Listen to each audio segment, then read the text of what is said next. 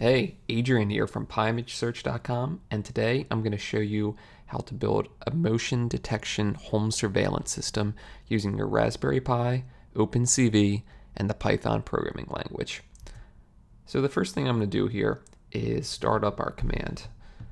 It's going to be python pi underscore surveillance.py, and I'm going to specify our JSON configuration file. So here I need to copy and paste the URL for the Dropbox API integration. I'm going to go over to my browser, paste it in, wait for it to load, then click the allow button, which gives me the API or gives, gives me the key that I can copy and paste back into my terminal to give Dropbox uh, permission to access the script.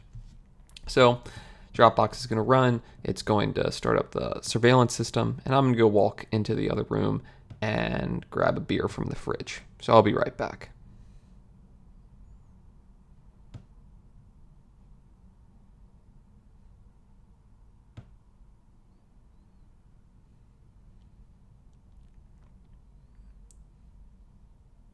Alright, I'm back with my ice cold beer, and as you can see there's been some images uploaded to my Dropbox account, and sure enough, that's from my Raspberry Pi camera.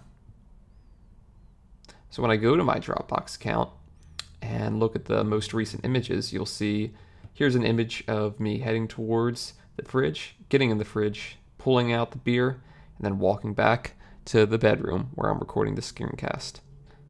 So I hope you enjoyed this demo and look for the full blog post on the PyImageSearch.com website where you'll find the link in the description of this video. See you later.